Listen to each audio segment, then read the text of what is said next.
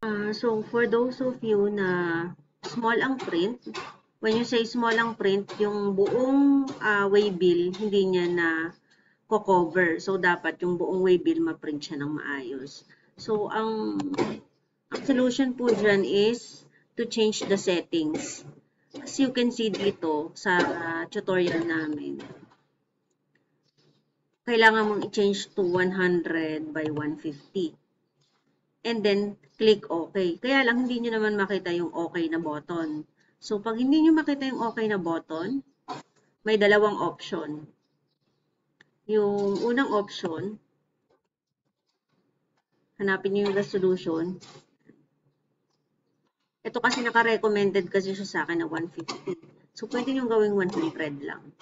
Magaya niyan. So, nag-appear na yung 100, i-click nyo lang yung OK. Ayan. So, nakita nyo naman yung display, lumiit na. Pati yung mga font dito, lumiit na din. So, i-click nyo lang yung okay. Tapos, yung second option is, kasi nga super liit, pag hindi nyo naman mabasa, bumalik kayo sa recommended.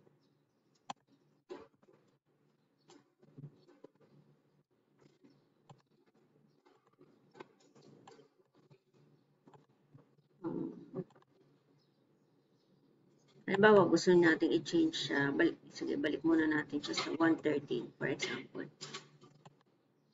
100 by 150. Yung kanina, yung okay, enter, yung apply button dito sa ilalim, missing.